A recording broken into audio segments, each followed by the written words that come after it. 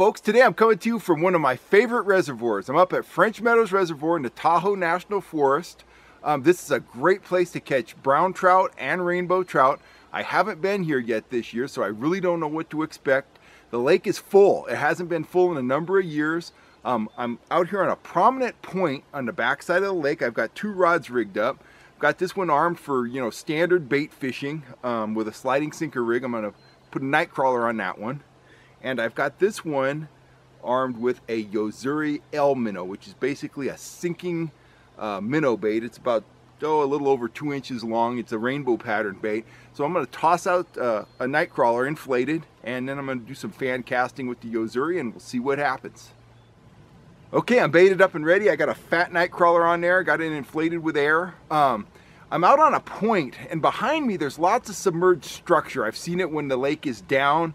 Um, I've caught several nice browns here, including a couple over five pounds, so I'm hopeful that they're, they're going to be cruising here.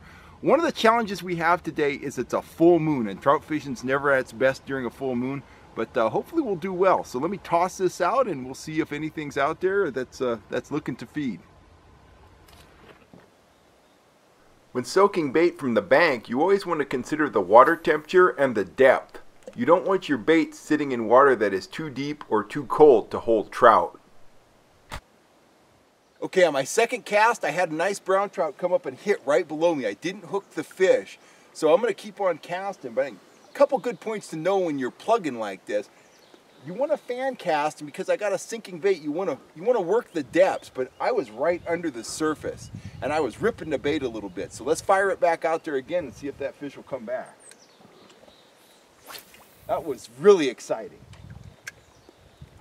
So what I was doing, you know, they'll hit a minnow bait like this on a steady retrieve, but what I was doing is, is I was going steady and then I would pop it a couple times. And that fish followed it right up to my feet. He was probably 16, 17 inches long. He was a nice trout.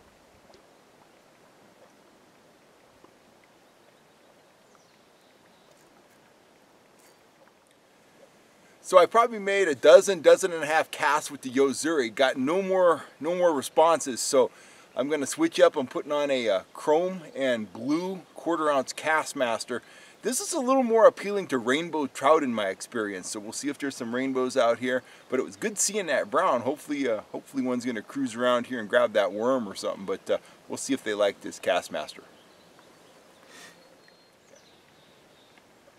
always found Kastmasters to be deadly spoons for shore casting. They work when you're trolling them too.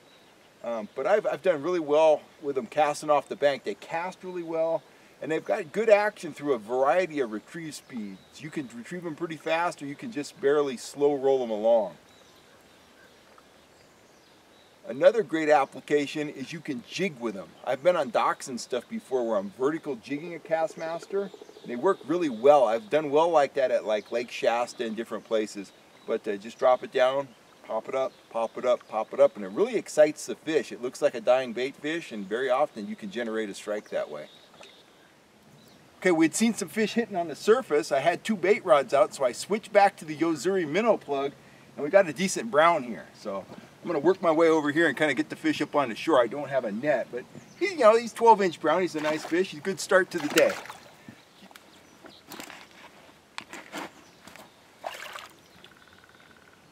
Oh, that's going to be dinner.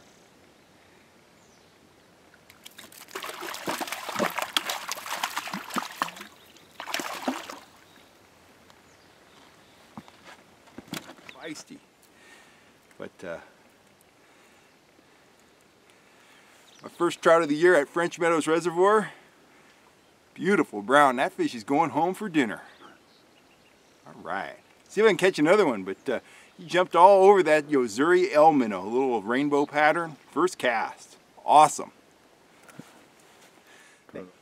Okay, so there's the there's the bait I was using. It's a small Yo-Zuri L minnow. It's a slow sinking minnow plug. It's a rainbow pattern. But there's a lesson to be learned by that. We got here early. Um, we weren't catching anything. We had one nice fish chase uh, the minnow, a larger version. Then I switched to a Kastmaster, no response on that. So I put out two bait rods. Well, I reeled in to check the worm. I got snagged, broke off the hook, But all of a sudden, a trout ran up and he grabbed the sinker. I couldn't believe it. We didn't get any of that on film, so I thought, well, I, I rebaited up, I put a new hook on, put a new worm out there.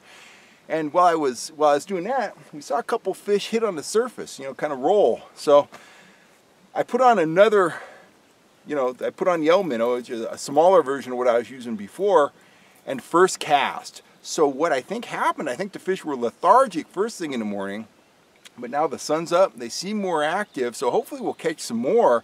But uh, don't be afraid to switch from lures to bait and back again, depending on what you see.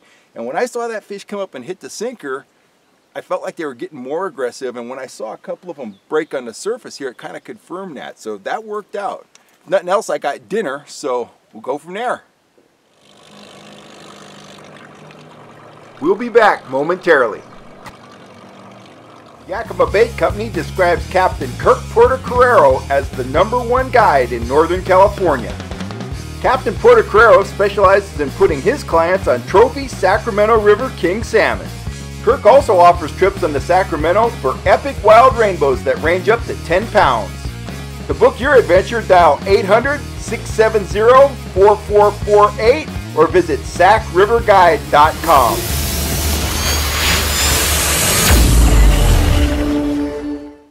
I don't know if we got a fish on here or not, but I was setting up another rod and this one just got slammed. Oh yeah, he's there.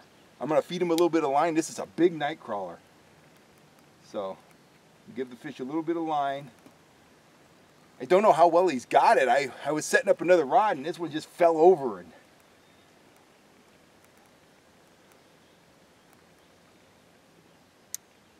I suspect he's hooked, but we'll see. I'm going to reel slowly, and when I feel a fish, I'm going to set. Oh yeah. Oh yeah. There's some submerged grass down there and I'm in it. I can feel it, but I definitely have the fish. I'm not going to force him. I'm going to let him work his way out of it. I think he just came free. No, I can see the weed flex. I can see the trout though. Nice fish. Dang. Oh, no, he's not that big. He'll be a good eater though. Another beautiful brown. Let's see. I'm gonna have to lift this fish. This isn't the optimum way to do this. This is one of the reasons though I'm using 10 pound fluorocarbon, which the fish can't see, but it really opens you up to landing fish like this. So here we go.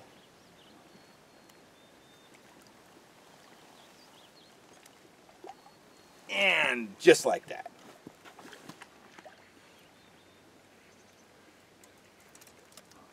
So there we go. There's fish number two. We're, we're working on a limit. We're to...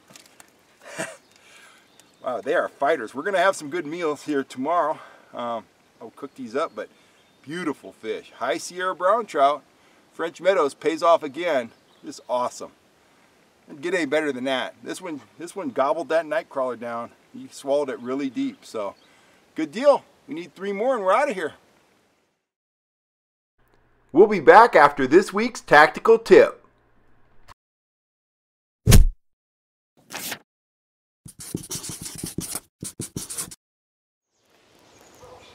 As the longtime editor of the Fish Sniffer magazine, I've had quite a few people ask me about the line I use for trout fishing, so I thought I'd take a moment to go over it.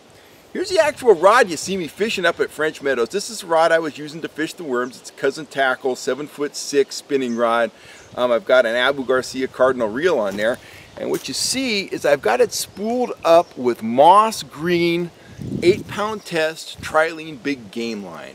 Now, I don't spool up with fluorocarbon line because fluorocarbon sinks and I'd rather have my line either float a little bit or have neutral buoyancy for most applications. Um, I use the moss green for invisibility.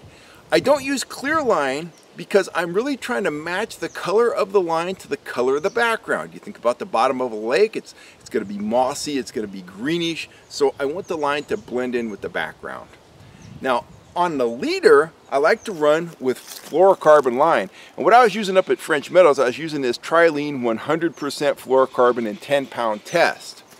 Now, in speaking with the engineers at Berkley, I've learned that fluorocarbon line reflects light at roughly the same rate as water does. So it renders it nearly 100% invisible to the fish, and that's important. Back in the old days, before we had fluorocarbon line, to get total, you know, invisibility when the fish were really finicky, we'd have to drop down to leader material that was maybe four pound test, maybe even two pound test. And as you can imagine, you hook a big fish on that, or you're dealing with some rocks and other cover like you are when you're bank fishing, you can have a hard time landing a fish and you can break off some really big fish and, and nobody likes to do that.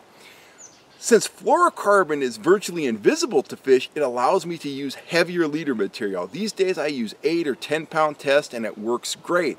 Um, the fish can't see it. I get just as many strikes as I used to get on the lighter line. And when I'm fighting fish or when I'm landing fish especially, and when I'm bank fishing, you know, you often don't have a net, and even if you did, the water's shallow, it doesn't work that great. A 10 pound leader, I can grab the leader, I can lift the fish unless they're super big, or I can drag them right up on the bank. Um, I land them, I don't lose them, they can't see it. Invest in some fluorocarbon. Don't spool up with it, just use it for leader material. You want to spool up with standard monofilament or copolymer line, and uh, you'll do great. Now, speaking of tackle, on our last show, episode three, I did a tackle hunt. I left some tackle out in the woods, I put up some GPS coordinates, and we had an angler go out there and recover that gear. Fellow lives about 30 miles from me. His name is Mike.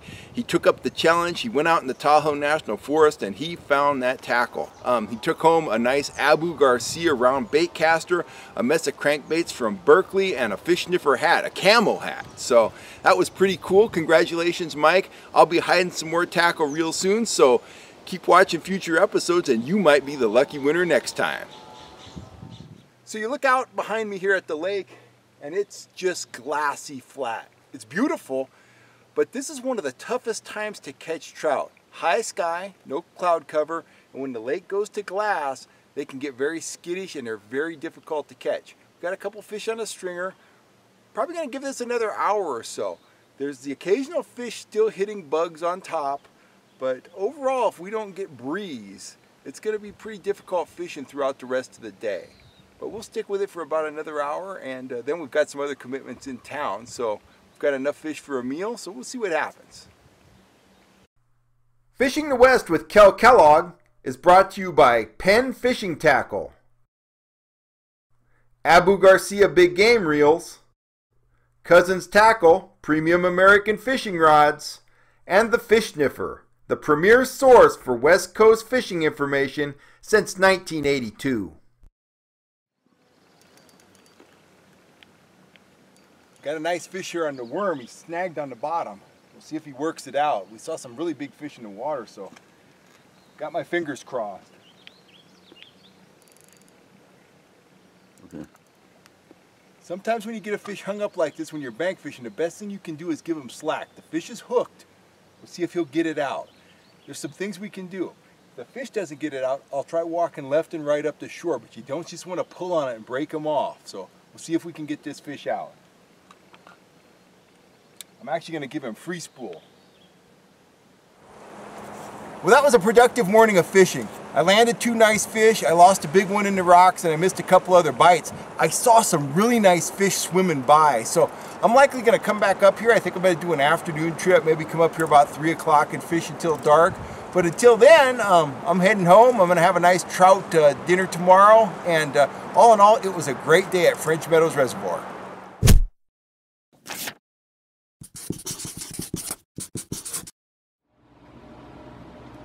Hi folks, Cal Kellogg here, coming to you from my kitchen again. I was up at French Meadows Reservoir yesterday and I came home with two nice brown trout. I've got them laid out here on the counter.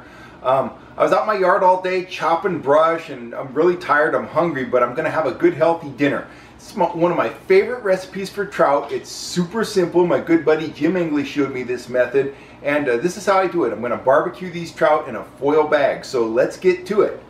Here are the trout two beautiful browns. Uh, this one's about 14, 15 inches long. This one's a little smaller. And what I have here is a bottle of Sweet Baby Ray's barbecue sauce. Just gonna shake that up a little bit. Take off the cap. I'm gonna squirt a little bit of this in the cavity of the fish, like so. Squirt a little bit inside of this one. Now you would think that that's going to make that fish taste like barbecue sauce, but it's not. It just gives it a wonderful sweet flavor. It, uh, it takes away any fishy flavor. I'm going to toss some, toss some lemon on top of this. It's like that. Nothing fancy. Just give it a little, little citrus. And uh, that can actually kind of be in there like that because I'm going to wrap this up I'm just going to make a foil envelope out of this, like that,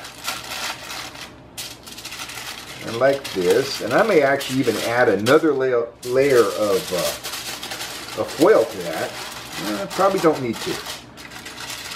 Something like this. And you can wrap it up pretty tight, like so.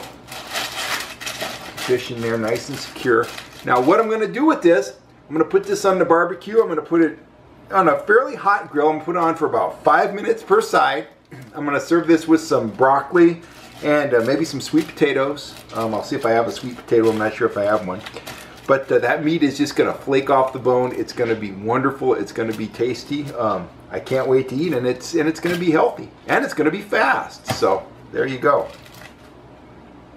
I'm to head outside and heat up my grill. I'm to pop on the fish, and when it's done, I'm to plate it, and I'll give you a look at it. It's to be really good. I can't wait to eat. Okay, there we go. That's the larger of the two trout. I took off the head and the tail. The skin came off with the foil. Pink meat. I've got some steamed broccoli there. It was fast. It's to be tasty, very nutritious. Um, I can't wait to eat. Well, there you have it. That was quick, simple, and I know it's going to taste great. The next time you've got a couple trout, give this recipe a try. It's fast, it's simple, your house doesn't smell like fish. Um, I think you're really going to like it. Catch me next time on Fishing the West with Cal Kellogg. Please make some comments and share this channel with your friend and like my videos. Thanks for the support, folks. Cal Kellogg signing off.